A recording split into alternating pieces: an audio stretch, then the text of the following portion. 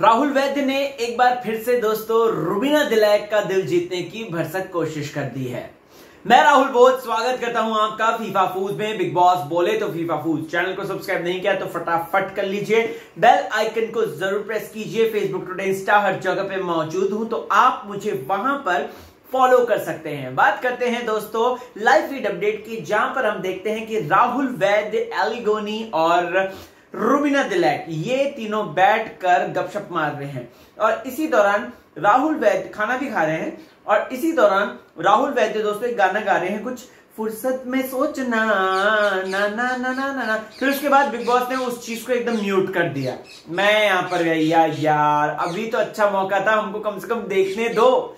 देखने दो कि राहुल वैद्य किस तरीके से जो है, जो उसने गलतियाँ करी हैं, जो उसने रुबीना को उल्टा सीधा बोला है, चाहे वो रूबीना हो, चाहे वो सुपरिटी कॉम्प्लेक्स हो, चाहे वो एटीट्यूड हो रिडिक्यूल करती है, ये वो सफ़ेद बंदरिया, ये सारी जो चीज़ें बोली हैं दोस्तों ये सारी जो बातें बोली हैं राहुल वैद्य ने, उन सब के लिए कहीं ना कहीं वो प्राश्चित कर रहे हैं और यहाँ पर रुबीना के दिल में जगह बनाने की कोशिश कर रहे हैं। Back to back back to back back to back so ऐसे में दोस्तों आपको बता दूँ तो इससे पहले भी राहुल वैद्य ने एक गाना बनाया था रुबीना दिलैक के लिए और राहुल वैद्य ने कहीं ना कहीं रुबीना का दिल जीतने की कोशिश की। इससे पहले उन्होंने रुबीना का कभी नहीं करा दिल जीतने की कोशिश। अभी ऑब्वियसली बात है what happens in Bigg Boss stage in Bigg Boss तो जो भी कह सकते हैं कि जो यू नो बिग बॉस में कर्म किए होते हैं तो उन कर्मों का फल तो घर के अंदर ही मिलता है। और साथ ही साथ उन कर्मों को सुधारने का मौका भी घर के अंदर मिलता है। और राहुल को वो मौका मिला हुआ है। तो राहुल सोच रहा है कि चलो कोई नहीं जाने जाते जो है, हम थोड़ा सा कॉर्डियल हो जाए थोड़ा सा अच्छे हो जाएँ।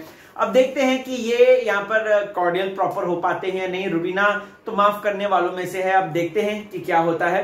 लेट्स सी आपका क्या रिएक्शन है? डेफिनेटली मुझे बताएँ। प्लीज़ ये गाने के बोल अगर आपने प्रॉपर सुने होंगे तो मुझे बताइएगा कौन से मूवी का गाना है या कौन सा है। फुर्सत में सोचना टाना ना ना ना ना कुछ ऐसा है गाना हाँ क्योंकि वो म्यूट हो गया था तो मुझे बिल्कुल भी सुनाई नहीं दिया। सो so, ये कमेंट सेक्शन में कमेंट करके ज़रूर बताएँ।